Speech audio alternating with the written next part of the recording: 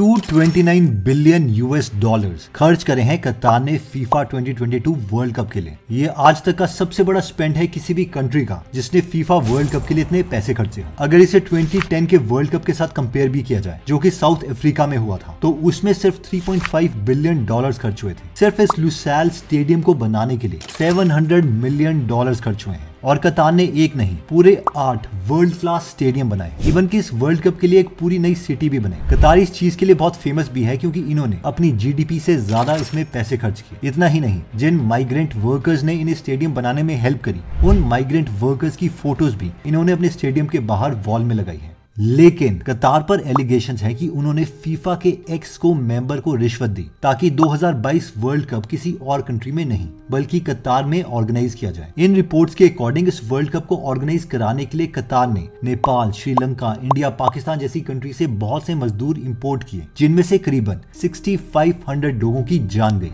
और बेशक बाहर से उनकी सिटीज़ आउटस्टैंडिंग लगती हो, लेकिन इन मजदूरों को इस तरीके से रखा जाता था। आइए देखते हैं इस पूरी रिपोर्ट को। एउटा छोरा थियो ऊ त पनि बित्यो। कतारे में बीती बच्चा तो। सेकेंड दिसंबर 2010 को फीफा के मेंबर स्विट्जरलैंड में आए और उन्होंने अनाउंस किया कि 2018 और 2022 का वर्ल्ड कप कौन सी कंट्रीज़ में होस्ट होगा? और मज़े की बात यह है कि इस अनाउंसमेंट के लिए दुनिया के मोस्ट पावरफुल लीडर्स वहाँ पर बैठे हुए थे। लेकिन सिर्फ़ इन 22 लोगों ने डिसाइड किया कि कौन सी कंट्री सिलेक्ट होगी। और इन 22 लोगों में से मैक्सिमम लोगों के ऊपर करप्शन की एलिगेशन हैं और इन लोगों ने ये अनाउंसमेंट करी।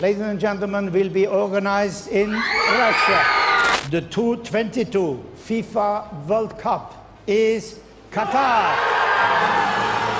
अब कई रिपोर्ट्स का कहना यह है कि इसमें दो बहुत बड़ी गड़बड़ी हुई है पहला तो ये कि कतार में वर्ल्ड कप होना ही नहीं चाहिए था और कतार ने एक्सको के मेंबर्स को ब्राइब करके वर्ल्ड कप कतार में करवाया है और दूसरी एलिगेशन ये है कि वर्ल्ड कप के लिए कतार में स्टेडियम बनाने के लिए गरीब देशों से मजदूर लाए गए और उन्हें बहुत ही प्रेशर और गर्मी में काम करना था। इवन 50 डिग्री सेल्सियस तक की गर्मी में, जिसकी वजह से पैंसठ सौ लोगों की जान तक चली गई। इन दोनों पॉइंट्स को समझने के लिए पहले हम ये समझते हैं कि फीफा क्या है और एक्सको के 22 लोग कौन है। देखिए अर्ली 1900s में फुटबॉल साउथ अमेरिका और यूरोप में पहले ही फ़ेमस हो रहा था। तो 1904 में फ्रांस के कुछ ऑफिसर्स ने एक ऑर्गेनाइजेशन फॉर्म करी, जिसे नाम दिया गया फीफा यानी International Federation of Association Football इस ऑर्गेनाइजेशन का काम था कि फुटबॉल को वो और प्रमोट करें। 1930s में फीफा ने डिसाइड किया कि वो भी ओलंपिक्स की तरह हर चार साल के बाद अपना एक फुटबॉल का टूर्नामेंट रखेंगे। लेकिन सवाल यह था कि टूर्नामेंट किस कंट्री में करवाया जाए। पहली बार छह कंट्रीज़ ने इसके लिए बिडिंग की और ये डिसाइड करने के लिए 44 देशों से एक एक मेंबर को फीफा का रिप्रेजेंटेटिव बनाया गया। और ये डिसाइड किया गया कि दुनिया का पहला फीफा वर्ल्ड कप यूरुग्वे में खेला जाएगा। क्योंकि ओलंपिक्स के फुटबॉल में पिछले दो गोल्ड मेडल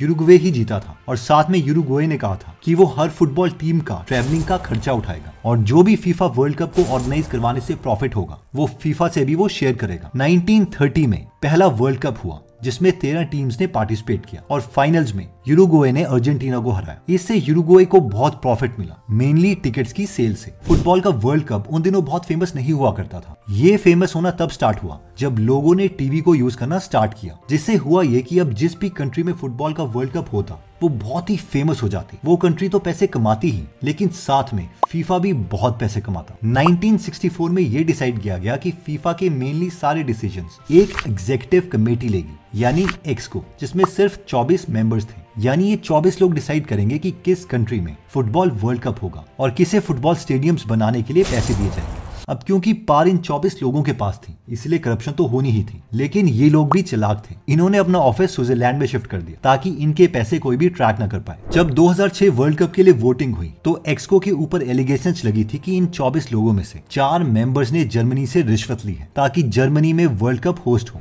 2010 का वर्ल्ड कप साउथ अफ्रीका जीता था। The 2010 FIFA World Cup will be organized in South Africa. उन पर भी एलिगेशन थे कि उन्होंने भी अपनी कंट्री में वर्ल्ड कप ऑर्गेनाइज करवाने के लिए इन्हें रिश्वत दी है। 2010 में यह भी बताया गया कि 2018 और 2022 का वर्ल्ड कप कहाँ खेला जाएगा। और जब 2022 के लिए कतार का नाम फाइनलाइज हुआ तो ब्रिटिश जर्नलिस्ट ने ये एलिगेशन लगाई कि एक्सको के मेंबर वार्नर को कतार की एक कंपनी ने दो मिलियन यूएस डॉलर्स दिए हैं ताकि वो वर्ल्ड कप के लिए कतार का नाम ले। इन सब एलिगेशन के अलावा, कतार के पास एक और एडवांटेज थी, और वो एडवांटेज ये है कि वो ज़्यादा पैसा खर्च कर सकते थे, क्योंकि ये एक अथॉरिटेरियन देश है। यानी कोई कतार में नहीं पूछ सकता कि उन्होंने कितने पैसे इसके लिए खर्चे हैं। इस रिश्वत की एलिगेशन के अलावा एक और बड़ी एलिगेशन है कतार के खिलाफ, और वो है allegation number two migrants not treated properly इस पॉइंट को समझने के लिए पहले हमें कफाला सिस्टम को समझना होगा। देखो, कतार एक छोटी, लेकिन एक बहुत ही अमीर कंट्री है पर कैपिटा इनकम के अकॉर्डिंग क्योंकि उनके पास one of the largest natural gas system field है। अब जब भी कोई कंट्री अमीर होती है तो आसपास के पुअर या डेवलपिंग कंट्रीज़ के लोग वहाँ पर लो पेइंग जॉब्स के लिए आ जाते हैं। पर कतार के पड़ोसी देश हैं UAE Oman Saudi Arabia etcetera वो भी काफ़ी जल्दी अमीर हो रहे थे। इसलिए इन्होंने इंडिया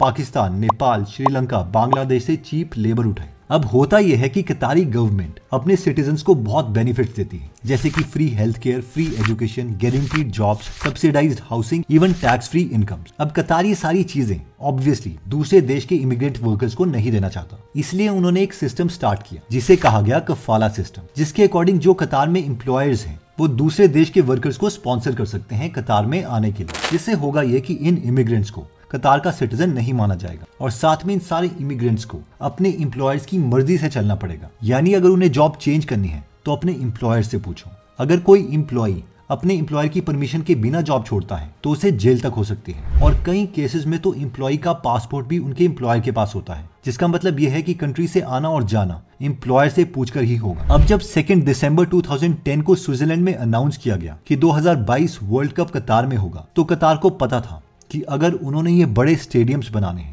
तो इसके लिए उन्हें कफाला सिस्टम को यूज़ करके जल्दी से हज़ारों मजदूरों को कतार में लाना पड़ेगा। तो वर्ल्ड कप से जस्ट पहले तक कतार में 21 लाख माइग्रेंट्स आ चुके थे, जिसका मतलब है कि कतार में, कतार के लोग कम और माइग्रेंट्स ज़्यादा थे। जिसका मतलब है कि कतार की पूरी पॉपुलेशन में कतार के सिटीजन सिर्फ़ 20 परसेंट थे, जबकि बाहर के लोग 80 परसेंट थे। अब कतार ये भी नहीं चाहता कि नॉर्मल मजदूर उनके पौश खूबसूरत जगहों में घूमे, जिसके लिए उन्होंने एक लॉ पास किया, जो कहता है कि कतार की फैमिलीज़ को सेफ़ रखने के लिए। कोई भी वर्कर क्लास का इंसान वो फैमिली एरिया में नहीं आ सकता। उसे दूसरे एरिया में रहना पड़ेगा। ये जो येलो कलर में हमें एरिया दिख रहा है, वो फैमिली जोन है। और ये जो ब्लू कलर्ड एरिया है, जिसका नाम दोहा इंडस्ट्रियल एरिया है, ये सारा मजदूर के लिए बनाया गया है। ऑब्वियसली कई व्हाइट कॉलर जॉब्स वाले इमिग्रेंट इस येलो एरिया में रह सकते हैं। ओके तो इसे थोड़ा विजुअलाइज करते हैं। तो जी, ये है कट्टार का ब्यूटीफुल दोहा और ये है वो एरिया जहाँ से बाहर के इमिग्रेंट्स आए हैं। और जब वर्ल्ड कप का टाइम पास आ रहा था तो कतार की गवर्नमेंट और स्ट्रिक्ट हो गई थी कि जल्दी से फैमिली जोन से इन लोगों को हटाओ ताकि कतार की एलिगेंस पर कोई आँच ना आए। इतना ही नहीं, कतार स्टेडियम की मेकिंग के दौरान इन पर काफ़ी एलिगेशन लगी, कि इन मजदूरों को सिटी से काफ़ी दूर कैंप्स में रखा जाता था। एक एक कमरे में दस लोग सोते थे, जहाँ पर सैनिटेशन के लिए भी प्रॉपर जगह नहीं थी। इन वर्कर्स को